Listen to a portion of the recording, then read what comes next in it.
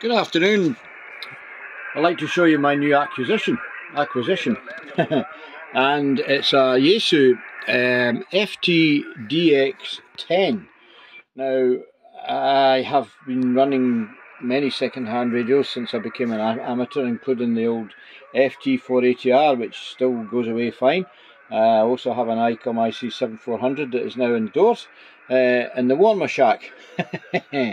um, but this one is out here um, at this present time. It's not always out here, it gets put away at night to bed, but um, it's uh, in here at the moment. So we've only had it for a few days and what we're trying to do is set everything up. So I have uh, had a, a, little shift around in the shed. I've moved some of the vintage stuff away. Um, concentrating more on amateur radio at the moment. So I've also got a monitor up here, um, an HP monitor displaying the uh, the same as on the screen. Uh, it's much clearer and if you move away you can see it better.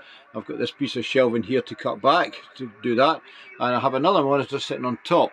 Now the idea with that one will be to, once we've got it connected up for CAT control etc, uh, we can see what's going on with there. Uh, whether or not we'll use digital modes is up to debate at this time, uh, so not too sure on that. And on the floor we have a Yaesu, sorry, a, a Trio F uh, T, TS830S. Uh, works fine. I had a couple of faults which is now repaired, um, so it's working good. Uh, that'll be brought up probably put on the on the on the, the, the shelf here. So we've got another monitor here. In fact, it's a telly which I use for a long time as a monitor. Don't know what I'm doing with that.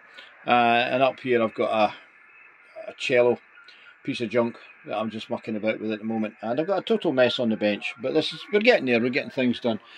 In this box is an ICOM IC718, that's uh, getting uh, no doubt passed on to someone else, and uh, for a very reasonable price. And we've even got an, uh, a gas fire here, and unfortunately it was made in the, uh, well, Russia. Oh dear, that's a bad word. but it gets very hot, so I've had to turn it off. Temperature in, in here at the moment is 18.1 degrees, so not too bad. Okie dokie, so um, this is a radio and at the moment all the filters are off. A lot of noise.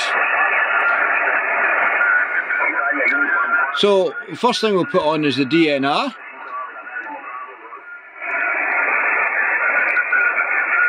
That reduces the noise somewhat and we'll then put on the contour.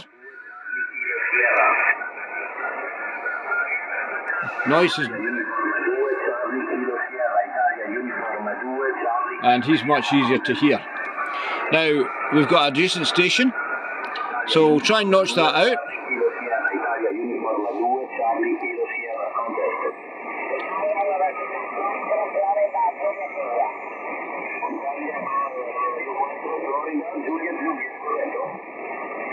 Now we can do shift.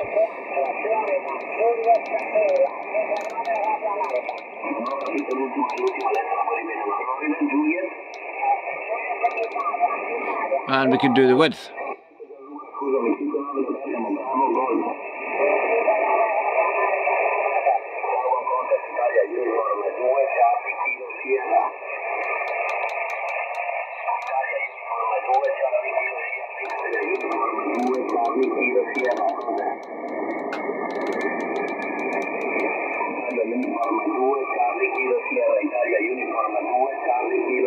The adjacent station seems to have now disappeared.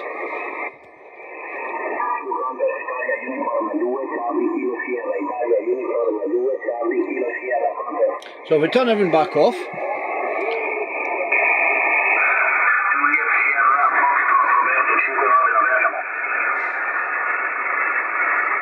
it's the increase in noise that you notice mostly, uh, how bad it can be. Very, very bad indeed. But uh, we're running over 9 at times here of uh, noise. Better if you put it up here, we'll see better. So we're running quite a lot of noise um, during the day. Sorry, at this time.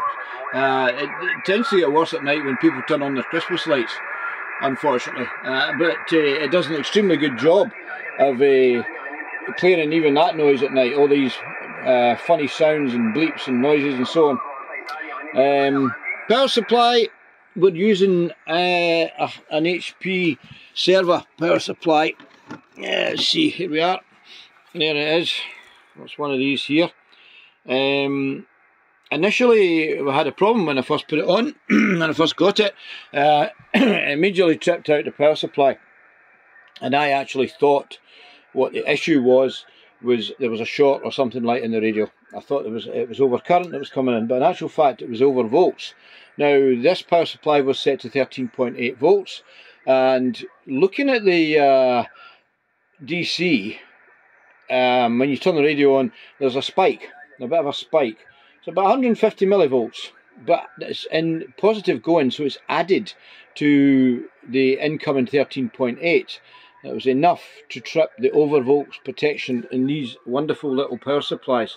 They're very good, excellent over voltage and over current protection. So um, ideal for amateur use. And I believe they are very, very popular. So it's now set back to, we, we ran it back to 13.5. 0.3 of a volt is not going to make much of a difference to your power output. Well, maybe only 2 or 3 watts.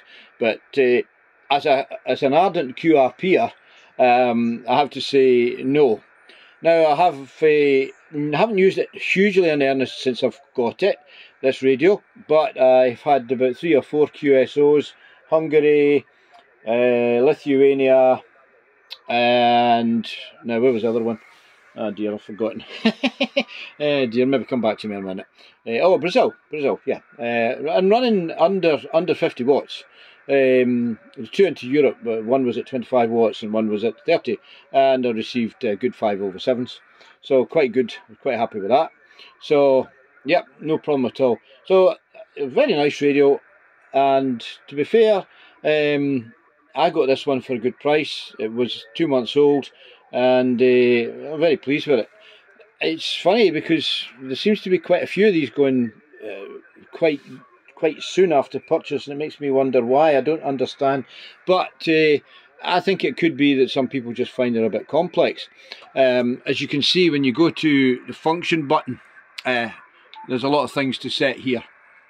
You've got the level, that level is the level of the uh, uh waterfall. Um, you can put a markers on it, you can change the, the colours, whether you've got the contrast and the dimmer for the this this display here which I've turned down to quite a low level it's a lot brighter than that normally. Um, then you've got your mic gain mic equalization uh, process level uh, all sorts of things there now I'm not using any equalization on the microphone nor am I using the processor uh, and I find it's fine. I've got my RF power to set to 25 watts which if I can go to I can change that. And as you can see there you go. It shows up on the screen of what you can set it to. You know so I can go up to 100 watts if I wish but no I, I don't run that kind of power. Um, I have never found a need to do it um, to be fair. Uh, so that's a that's what you've got. Um, it also has a, a CW decoder and I mean, I'm not into that right enough, but I do hope to be doing in the CW shortly and also passing my uh, full license uh, in the next month or two, depending how things go. Uh, so there we go. I just thought I'd uh, show you this. Uh, I highly recommend it. Nice, nice radio. Uh, works beautifully. Um, I've had very good reports, good audio reports, etc. So no great complaints whatsoever with it. So yeah. Um, my ICOM, as I say, is in the house. It's uh, it's it's uh, does HF in two meters, which is ideal. Um, so there we go. But I've got all this cabling to sort out. I've got a lot of tidying up to do here. I've got my bench to sort out. I've got uh, wiring under here, as you can see, is a mess.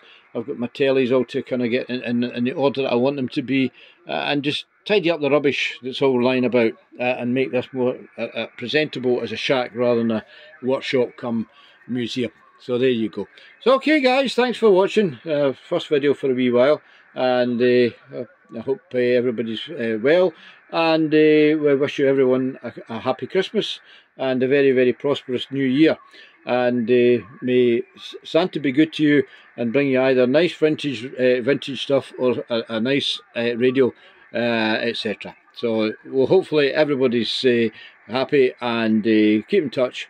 Uh, comments please on the on the comments list. And if you're not a subscriber please subscribe and press the notification bell for the videos. Um, been busy. Haven't been able to get as many videos on as I'd like to but uh, such is life. I've only got two two hands not 42 okay no thanks guys. Bye for now